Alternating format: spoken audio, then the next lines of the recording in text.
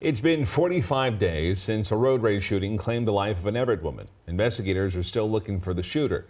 King 5's Madison Duane joins us live in the newsroom with a story of searching for justice while these road rage shootings have continued to make headlines. Madison. Yes, Steve, since the shooting death of Raylan Davis in October, there have been two children wounded in road rage shootings.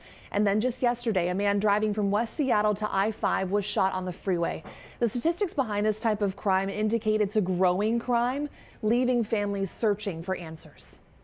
On Saturday, October 15th, Raylan Davis was heading home to Everett from Leavenworth after doing some Christmas shopping.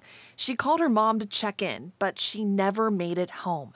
Davis was killed in a road rage shooting on Highway 2, about a mile west of Stevens Pass near milepost 63. Yeah, it's been 45 days and there's no leads, there's nothing, you know, so it, it I don't know. How has it been for you? Unsettling. Raylan's Aunt Carlin and mom Stephanie are searching for answers. We don't even know what we're looking for. Raylan's family is not alone. According to Washington State Patrol data, King and Pierce County has seen an increase in road rage shootings over the past five years. Pierce County has already exceeded 2021's numbers with 279 road rage shootings. Earlier this month, nine year old Isaiah Johns was shot in a road rage incident in Renton.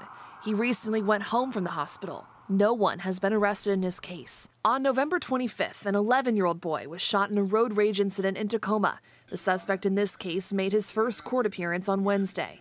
And this week, West Seattle Bridge eastbound and South Columbian Way. Person shot in the vehicle. On November 29th, a man was shot while driving in a car from West Seattle to I 5. Seattle police say they're looking for a silver or gray vehicle, but right now aren't calling it a case of road rage. Raylan's family says these shootings are troubling. I just wish people would slow down and just care a little more. While the holiday season is underway, Raylan's aunt and mom hope for justice. The fact that nobody knows anything, it just seems so unfair during this, this time. This is our first holiday without her.